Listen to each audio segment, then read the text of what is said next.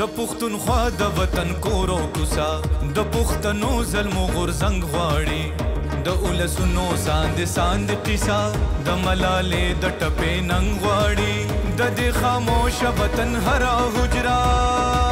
بیا د ظلمو د مینې رنګ غواړي بیا د ظلمو د مینې رنګ غواړي